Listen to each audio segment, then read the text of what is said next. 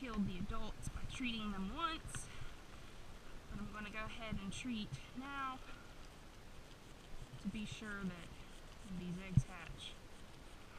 I waited seven days, but now I'm treating again so that when these eggs hatch, they'll die immediately. Because they should be hatching, if not like today, in the next couple of days, and this will still be on the goat. Yes, baby. And goats hate water, so of course they don't like this either. But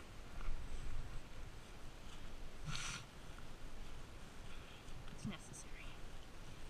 Yeah, it's necessary, baby.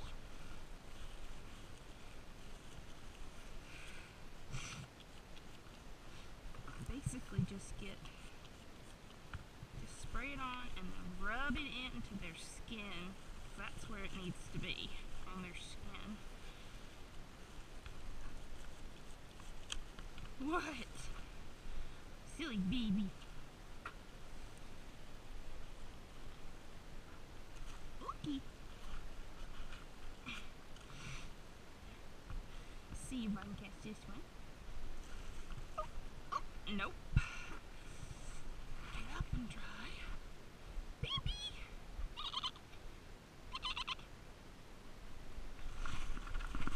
Oh! Good lord. Okay. Okay.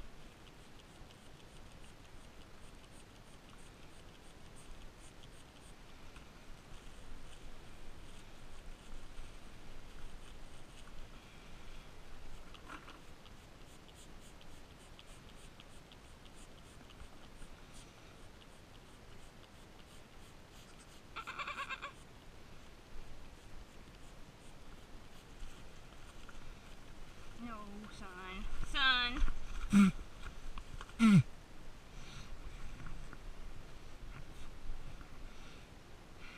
want to get it on your face like I just did. supposed to go in and wash immediately, but I'll survive.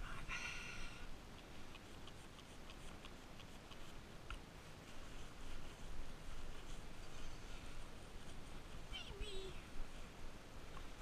No, no.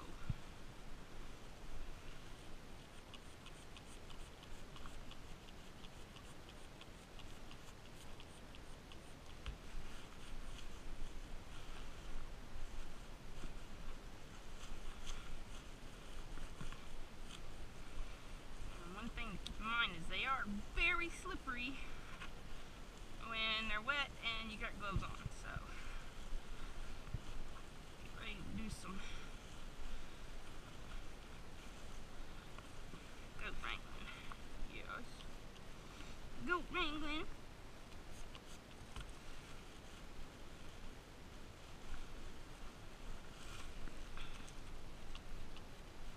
Nah, nah.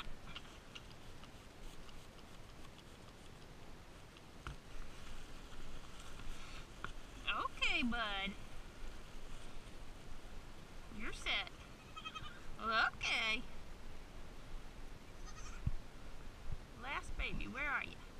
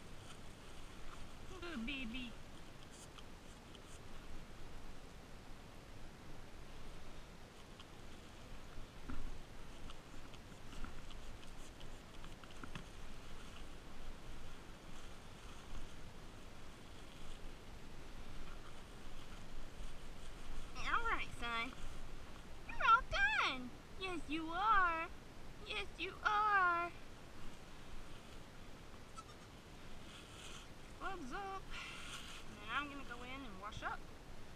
That's basically it. Make sure you use the one for um, this Adams flea and tick spray. It's safe for puppies and everything. So, and be careful when you buy these. Sometimes they're not for cats.